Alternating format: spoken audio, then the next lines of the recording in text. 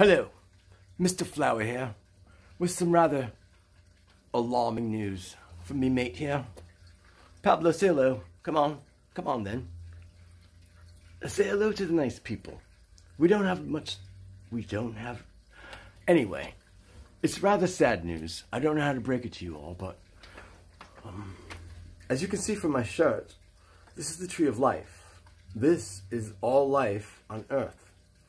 And um, the tree of life has a lot of holes in it, unfortunately. Pablo, I'm sorry, Pablo. Come back.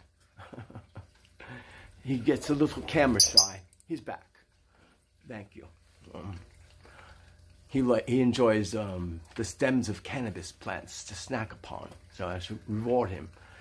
Anyway, he's a. Uh, and I'm getting off target, Pablo.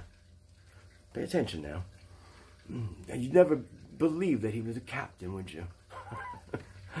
I did not. Um, from probably the last free place in America, possibly the United States of America, um, broadcasting live to my friends to warn them to love each other and love nature. Bye bye, Mr. Flower out.